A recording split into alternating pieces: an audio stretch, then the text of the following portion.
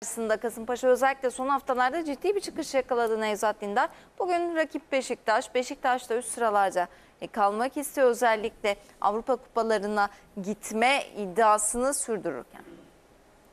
Ee, Beşiktaş'ın ve özellikle Valerian İsmail'in istediği oyun tarzına müsait bir takım olarak görüyorum. Yani açık oynayan, e, oyunun iki tarafında iyi e, oynayan takımlardan bir tanesi Kasımpaşa. Dolayısıyla hani kapanan bir takım değil. E, bu belki de Beşiktaş için bir avantaj olabilir. Evet. Ee, güzel maç olacağını düşünüyorum. Özellikle e, Kasımpaşa hücum hattına baktım. Muleka enteresan bir forvet. E, Fal yine hareketli bir oyuncu. E, Hayredinovic yine ince pasları ve duran toplarıyla dikkat çeken oyunculardan bir tanesi. Doğucan'ın yine yükselen performansından bahsediyoruz.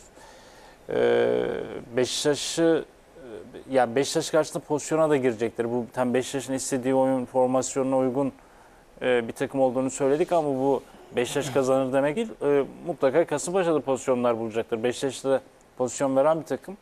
Dolayısıyla ben e, gollü karşılaşma bekliyorum. Ya Kasımpaşa öyle bir takım oldu ki Umut Bozok ki ligin ilk yarısının en iyi oyuncularından da hatta Muleka'nın performansına kadar Umut Bozok bu kadroda yedek kalabiliyor. Evet.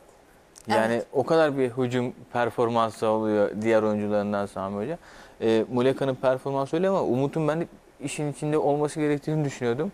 E, tabii ki e, teknik adamların kendi tercihi ve bu tercihlerinin ne kadar başarılı olduğunu sonuçta Kasımpaşa performansı gösteriyor bize.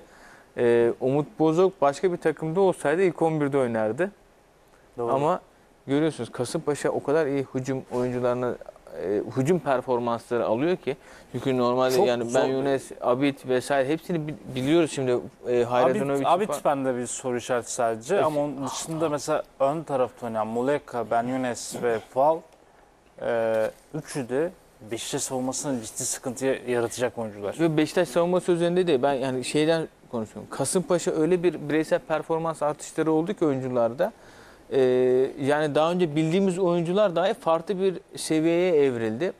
Ve Kasımpaşa'nın hücum performansı hakikaten çok keyif veriyor. Şimdi Beşiktaş'ta güzel bir noktaya değindi. Beşiktaş oynamak isteyen rakiplere karşı daha avantajlı olabiliyor. E bunu Alanya Spor maçında gördük mesela. Ama Giresunspor maçında tam tersi bir senaryo oldu. Çok fazla çekildi Giresunspor. Uzun toplarla Umut Nahir'i buluşturmaya çalıştı ki Umut Nahir 14'te 11 olması lazım o maçta. 14 hava topunun 11'ini kazanmıştı mesela. Orada Beşiktaş'ın planları bozuldu. Çünkü kapanan savunmaları açmakta biraz forvetlerinizin becerilerine ihtiyacınız var. E, tek taraflı bakıyordu hep. Gezzal. Çünkü Alex Teixeira diye bir oyuncu yok Beşiktaş'ta. Olmadı bu sezon Alex Teixeira diye bir oyuncu. Yani ben geçen yayında şunu söylemiştim. En kötü Adem Leic bugünkü Alex Teixeira'dan daha kötü değildi. Ki bu sezon Adem Leic olsaydı bu kadar Ha, Ee, Bilal söylesin. Evet. En kötü Adem Leic bu sezonki Alex Teixeira bir daha tekrarlayayım. Ee, Alex Teixeira'dan daha kötü değildi. Ee, tabii onun farklı sorunu vardı. Alex, Alex Teixeira çok daha profesyonel.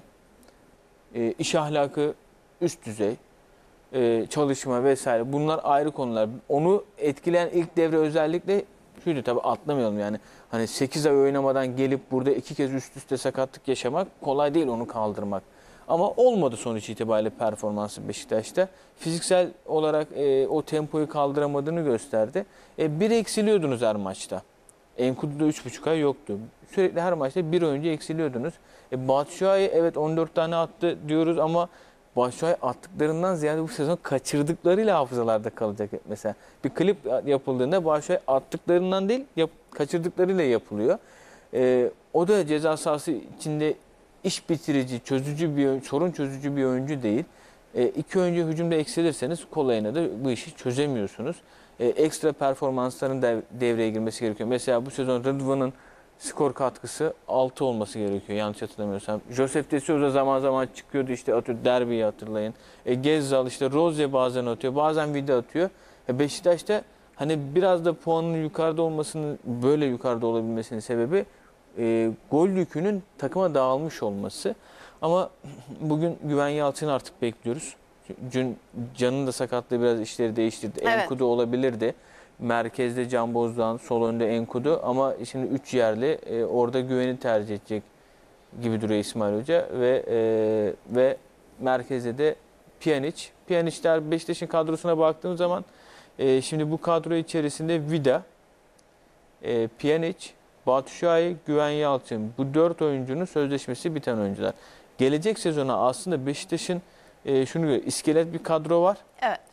Ersin, Montero, Wellington, Rıdvan, Josef, Rozi hatta Gelson Fernandez'i oraya aldı artık zaten. Hani o orta saha dörtlüsüne mesela konu yok. Gezal çok fazla aslında dokunuşa ihtiyacı yok diyoruz. Ancak orada bir parantez açmak gerekiyor. Ersin ve Rıdvan'ın ben gelecek sezon Beşiktaş'ta artık olmayacağını düşünüyorum. Ee, Rıdvan için bugün de yapmıştım. Dün yaptığım haberi bugün çıktı. Ee, Rıdvan'a özellikle Alman takımlarının geçtiğimiz sezon İki Alman başlayan takımı değil mi? geçtiğimiz sezon başlayan büyük ilgisi vardı. İlk teklifi Rıdvan kariyerinde ilk teklif Şut, Stuttgart'tan gelmişti. E, 4 milyon euroydu. Kabul edilmemişti. Şimdi bu sezon e, Frankfurt geldi ve Teklif Hoffenheim. yukarıya çıktı mı? Hoffenheim e, Frankfurt'ta görüşme yapıldı. Frankfurt sordu oyuncunun durumunu. Ben Manga futbol direktörleri yanlış hatırlamıyorsam ismi Ben Manga. Geçtiğimiz sezondan bu yana Rıdvan'ı takip ettiriyormuş. E, Frankfurt'un sol bek orijinli oyunu, oyuncusu yok. Ve Rıdvan Yılmaz'ı düşünüyorlar, görüşme yaptılar. Birkaç gün içerisinde tekliflerini de getirecekler. E, onun dışında Hoffenheim aynı şekilde izliyor. Orada sadece Hoffenheim'ın sol beki Raum'un Juventus'a gitme durumu var. Biraz ona endeksli gibi duruyor. Ee, onun dışında İtalya'dan Torino'nun teklifi var ama Torino'nun teklifi şu an çok yeterli bulunmuyor gibi.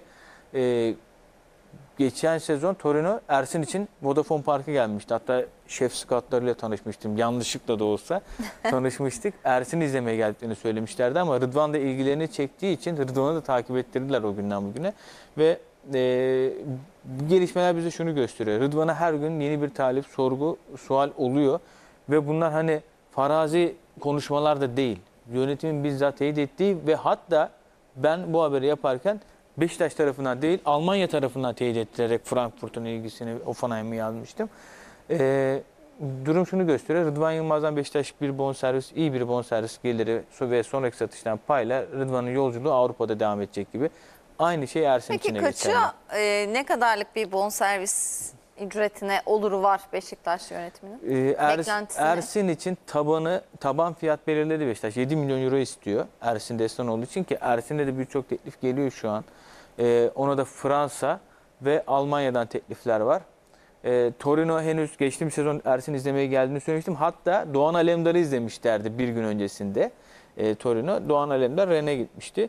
Ee, Ersin için henüz teklif getirmediler ama Torino tarafını söylüyorum. Fransa ve Almanya'dan yine Ersin yoklanıyor. E, Beşiktaş 7 milyon euro en aşağı göndereceği rakam. 7 milyon euro ve sonraki satıştan pay istiyor. Rıdvan için bu 7'nin biraz daha üstü bekleniyor açıkçası. E, henüz Rıdvan için Frankfurt vesaire teklifini masaya getirmediği için bir pazarlık süreci de yok. Önce tekliflerin boyutunu bekliyor Beşiktaş. Yani e, istekli kulüplere şunu söylemedi. Biz 5'e satarız, 6'ya satarız. Teklifinizi görmek istiyoruz dediler.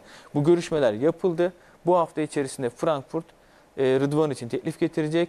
Hoffenheim'ın durumu da dediğim gibi sol beklerinin transfer durumuna biraz bağlı. E, Torino'nun teklifi 5 milyon euro seviyesinde olduğu konuşuluyor ama Beşiktaş yönetimi 5'e Rıdvan'ı bırakmaz.